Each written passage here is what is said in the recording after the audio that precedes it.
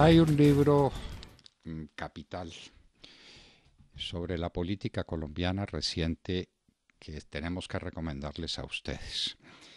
El libro sobre Álvaro Gómez, una biografía del hombre y de su siglo. A propósito de una biografía, lo que se escribe es la historia de Colombia en un largo periodo de su trasegar por el mundo.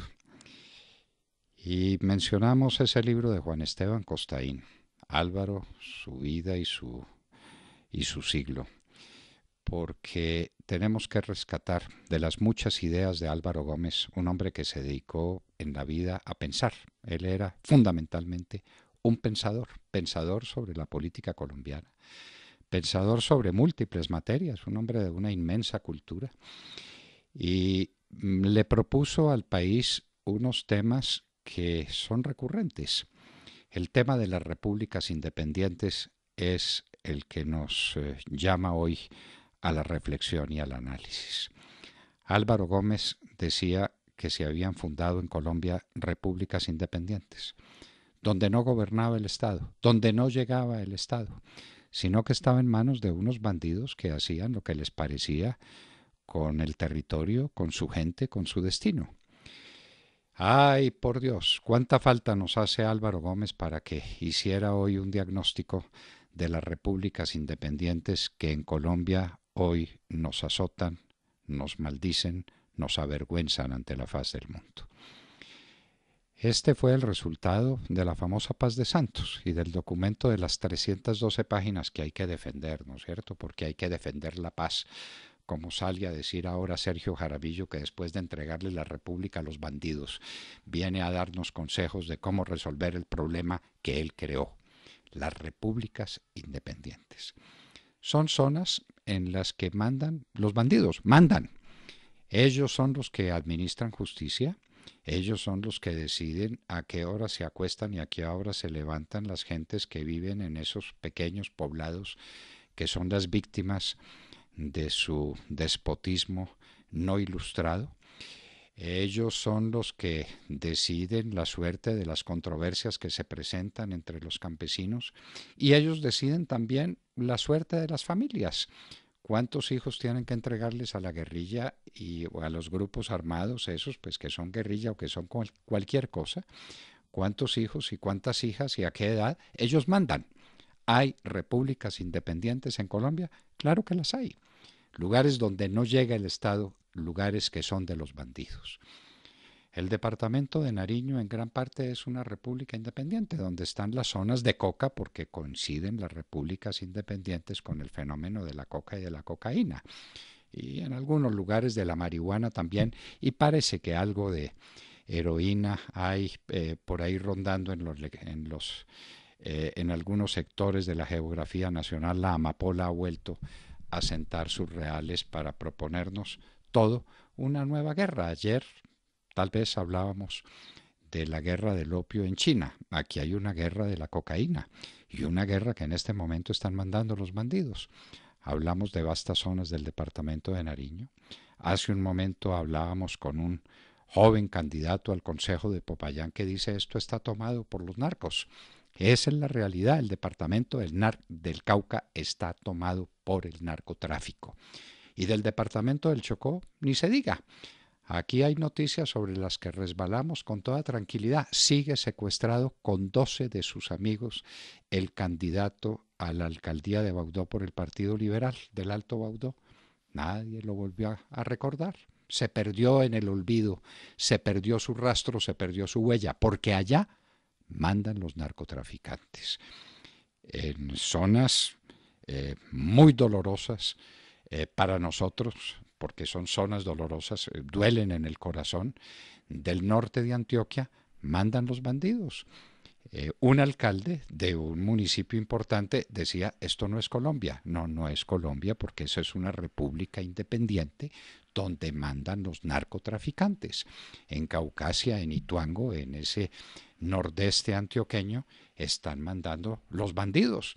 eh, zonas de Córdoba se volvieron a tomar el nudo de Paramillo otra vez. Sonamos y señores. Ni hablar del Catatumbo, de vastas zonas de norte de Santander. Hoy hablaremos con un personaje muy importante de norte de Santander para que nos lo confirme. por ejemplo, en la zona de Tibú, Ecopetrol tranquilamente dice no puedo seguir operando en la zona de Tibú, eh, que es una zona particularmente rica en hidrocarburos. No puede operar porque allá mandan los bandidos, porque esa es otra república independiente. De Arauca hay regiones donde mandan los bandidos, también en el Caquetá. Sumen, sumen territorio nacional, las repúblicas independientes, las repúblicas de los narcotraficantes. Y eso está destrozando la República de Colombia.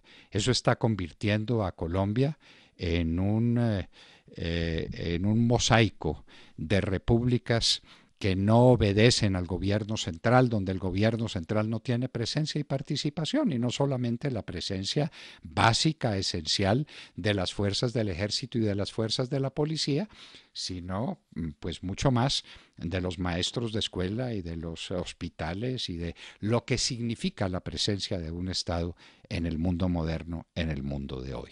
Las repúblicas independientes que nos dejó montadas Juan Manuel Santos con los acuerdos de paz que hizo con los bandidos que se fueron apoderando tranquilamente de la República con el mismo brazalete de las FARC o con brazalete distinto. El crecimiento exponencial del ELN ¿A qué se debe? A reclutamientos especiales y, en gran masa, en grande escala que hizo el ELN. No, simplemente a que los bandidos se cambiaron de brazalete y en lugar de decir FARC dicen ELN.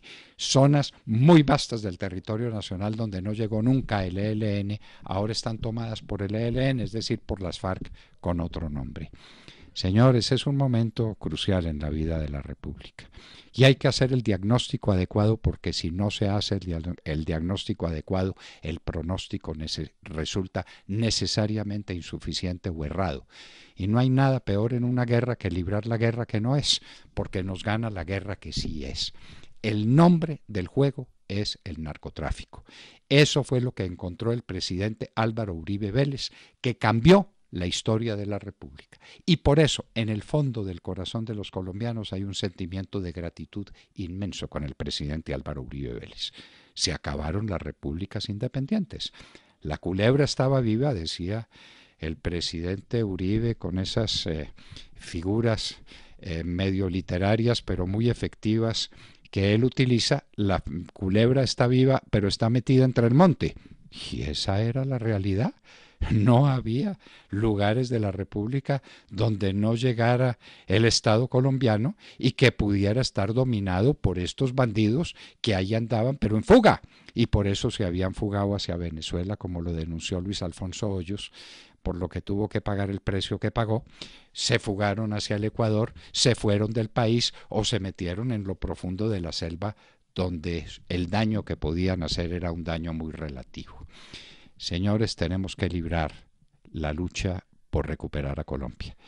Y esa tiene una condición sine qua non, la derrota del narcotráfico. Oyendo al señor Ceballos, tan cercano al corazón del presidente, uno se llenaba de, de indignación y de sorpresa y de estupor porque la conclusión, después de hablar de los cultivos erradicados y de las hectáreas, y hacían, hacía unos cálculos que no cuadran con la aritmética ni con la realidad del país, decía, es que hay que fumigar. Señor Ceballos, ¿y por qué no fumigan? Ah, no es que la corte, no ninguna corte, ninguna corte. Es que la suerte del país es el porvenir de los colombianos. A fumigar con glifosato, a extinguir los bienes de los bandidos. El, eh, ex fiscal Néstor Humberto Martínez hablaba de los miles de hectáreas que estaban en poder de los bandidos de las FARC y por qué no han eh, no se ha incautado el gobierno de todos esos bienes con sentencias ejecutoriadas. Esto no es cuestión de entrar simplemente con policías, con fusiles, ametralladoras a una determinada finca. Esto es con sentencias ejecutoriadas. ¿Dónde está la extinción de dominio express? ¿Dónde están las extradiciones de los bandidos a los Estados Unidos? ¿Dónde está la política antidrogas que es la condición para derrotar lo que Álvaro Gómez Hurtado llamó una las repúblicas independientes?